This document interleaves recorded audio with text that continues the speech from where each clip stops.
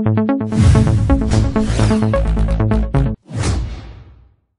guys, how's it going? This is Andrew again from Advanced PCs. Welcome to another exciting video session. Alright, so this week I'm going to talk to you guys about Chrome connectivity. Specifically, Google Chrome not being able to connect to the internet after a Windows update install or push.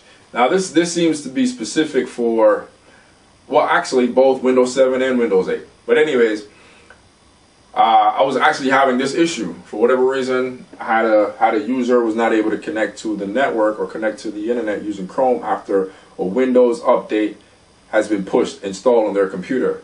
Ironically enough, Windows not Windows but Internet Explorer they can get access to the internet using Internet Explorer. It's almost like Microsoft wants only its browser to work and everyone and everything else not not being connected, you know connected. And also this user also had issue with outlook not being able to connect to the internet uh, or or receive emails rather. Okay? So in the event that you're running into this problem here's your solution or your culprit. Okay? Your firewall.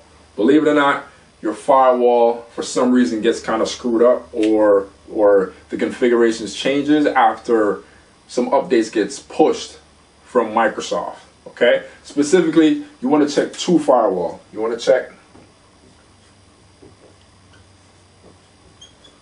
Windows firewall and you also want to check your anti virus firewall okay? Now specifically this user had Norton 360 uh, installed, and Norton took over the firewall capabilities for Windows. So, so you want to go in and you want to check the both of them actually. Just check either either you want to enable the application Chrome in this instance and or Outlook that's being blocked.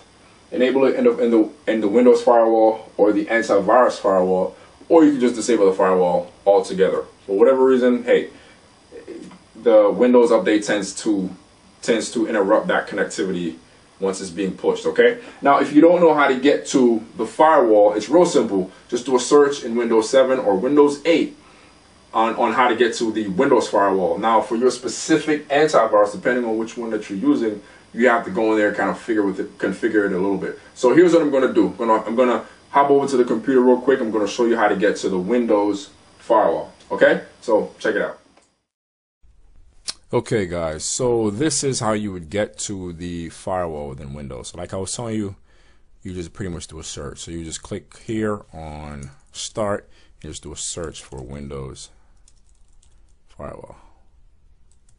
Alright, there you go. Well, Okay, so you just click on Windows Firewall right here. Another way in which you can get to it, it went over to my other screen. Another way in which you can get to it um, that's the fastest way, but you can also go to the control panel by clicking on start and then go into control panels and let me bring this over here again. And under control panels, you want to go to security. And the security, there you have Windows Firewall. Okay, so that's another way to get to it. All right, so essentially what you want to do, um, real simple, you just want to either go here where it says turn Windows Firewall on or off. That's one way of doing it. All right, so it's on. Obviously, it's on on this one. You can just turn it off, even though it says not recommended. But depending on how severe it is, and if this, you know, if Chrome is just just not it's just not connecting for whatever reason, just go ahead and turn it off. Another way you can do it, let me show you real quick, is you can um, go to Advanced Settings.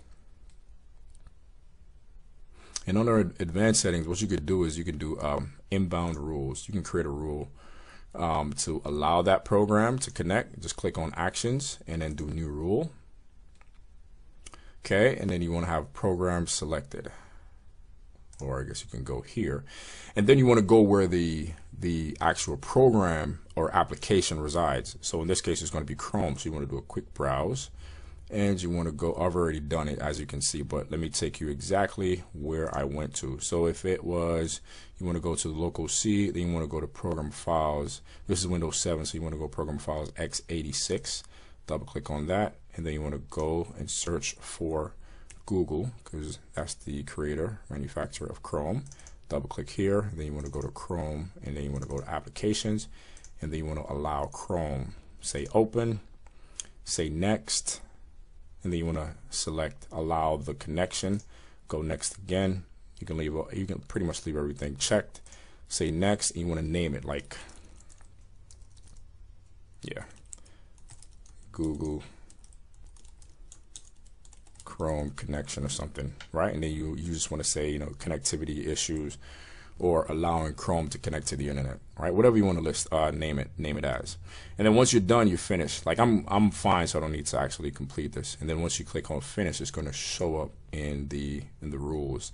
All right. So, but if that's a little bit too complex for you, like I said, just go here, turn Windows firewall on or off, go there, and just turn it off here a public network location settings. You could also turn this off as well if you're if you're still having some some some uh, issues. Okay, so that's how you would get to the firewall, Windows firewall, and configure it there.